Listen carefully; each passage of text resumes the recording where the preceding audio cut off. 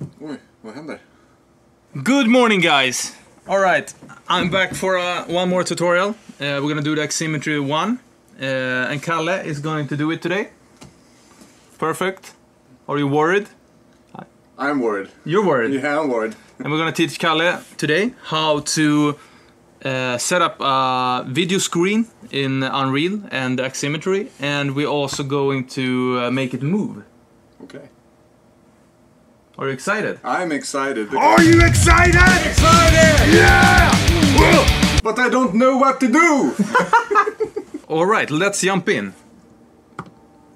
So I have a simple scene with a tracked cam uh, compound and a small Unreal scene. And what I want to do is to put this on my uh, video screen over here, which shouldn't be that impossible, right? So if we jump into Unreal, the first thing we have to do is to create a video material. And we do that by creating a new material. And we can call this video material 2 and jump into that. And we need to create a texture parameter 2D and you need to remember this name and we're gonna call it video texture 2 and then I just apply it to the base color uh, and one more trick up the sleeve I usually do. Uh, sometimes I get better uh, better results by changing the, the main material to translucent, which seems to make it more sharp. Uh, but yeah, good good tip to try. And then I select my monitor and have a look at where we want to put it. So probably we're gonna put it here. So just, just bounce it over there. Now we have the video material. Uh, like so. And then as usual, open the level blueprint. And what you want to do is to create a material instance and then select the asset you want to uh, do an instance of and it's video material 2 and then you have to go look at the Aximmetry documents. Let's see if we can find those. It's a great page. Here you can find all sorts of great information. So go to for Aximmetry uh, DE users and then browse down to uh, how to install and work with Unreal Engine based edition. Then you scroll all the way down, all the way down, all the way down, all the way down, all the way down, all the way down and then you have this little fella. So we need to replicate this. Uh, so after the create dynamic, dynamic material instance, we need to set the material to the object. So let's set material. And if you don't see what you want, you have to untick this box and then you have set material. And you want to drag in the monitor, boom, and drag it to that one and then you're gonna select the material no no no you're gonna do it like this Choof. and then we have to see so it's the correct and then we have to go to event tick where we are going to get aximmetry video and here's where you choose what the pin name is going to be in Aximmetry and we will choose it as a video screen maybe. That's that's clear enough, right? And then we have to set texture parameter value.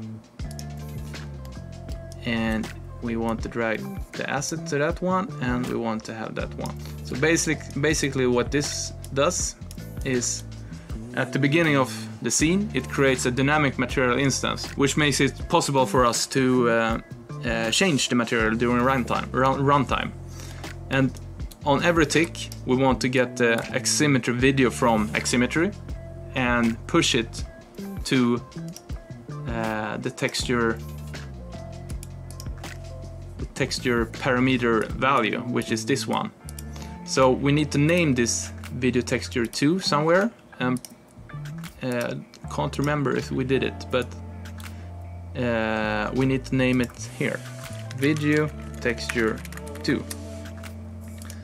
So that's a quick rundown. Everything is in the Aximmetry documentation, uh, so if you're not sure, uh, go have a look. And let's play this one. And then we need to we need to find where are the stage. It's over here. Nice. So let's move. I move with uh, my right mouse button to move forward and press my left mouse button to rotate. And here we have the texture, but we can't see our texture yet. And it's because we need to uh, uh, push these chains and then drag our picture. And there's our little picture. And that's great. But uh, what if we would like to move this camera from Aximmetry? Uh, no, move this screen from Aximmetry. That would be pretty neat, right? So let's jump into Unreal again and stop this one. It's quite easy to do it. Uh, you just need uh, one thing in the level blueprint and it's during the event tick you pile on to that uh, chain with uh, set actor transform. Uh, and then we need to bring in the the same monitor again because it's the monitor we want to move. And from new transform get Aximmetry transformation. And maybe we should call this screen transformation. And this is what it's gonna be called in Aximmetry. Let's compile that one and play again. And now we can see the screen is not aligned. And if we put the chains again we have a screen transformation node here uh, which makes it possible to move it with this one. But usually what I do is add a scene node oh, maybe I'm going too fast. So this is how it comes in, but what you want to do is uh, push on, on the upper right corner, so you get the world transform out and drag it to screen transformation. That way you can use the C node to rotate it uh, and move it up and move it closer, maybe like that, and maybe just do it 90 to be square. And that's basically how you do it. And this is really good to be able to move it around uh, when uh, when you're live in the setting, because uh, you always have some goddamn producer telling you, "Can't we have the monitor over there instead?" And then you can just fix it on the fly, and it's fantastic, right? Yeah, yeah, fantastic. Fantastic. So now we're gonna watch Kalle do it. Uh, Uh, okay, do you have two hours? No, I think you're gonna do it in uh, at least 10 minutes. Yeah, okay, thank you.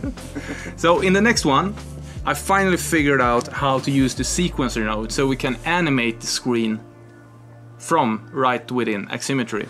So that's the next video, be on the lookout for that one. Thank you.